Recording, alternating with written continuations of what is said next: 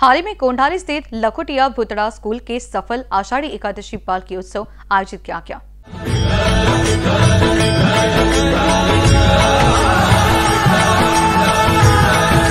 यह आयोजन स्कूल छात्रों के बीच सांस्कृतिक सांस्कृतिक विविधता और समावेशिता को बढ़ावा देने की हमारी प्रतिबद्धता के प्रमाण के रूप में कार्य करता है। आषाढ़ी एकादशी, पालकी उत्सव, सांस्कृतिक विरासत और एकता का एक जीवंत प्रदर्शन था। सभी पृष्ठभूमियों के छात्रों ने उत्साह पूर्वक भाग लिया और अपनी प्रतिभा का प्रदर्शन किया और साथ ही अवसर की भावना को अपनाया। इस कार्यक्रम में पारंपरिक अनुष्ठान, प्रदर्शन और शैक्षिक प्रस्तुतियाँ शामिल थी, जिन्होंने भारतीय संस्कृति में इस शुभ दिन के महत्व पर प्रकाश डाला। इस कार्यक्रम में प्रमुख रूप से Ashutosh Kedar, Pawar sir principal, Ashok Kashti sir प्रशासक उपस्थित हुए थे। कैमरा पर्सन राजकुमार मोहट के साथ अभिषेक पांसे की रिपोर्ट।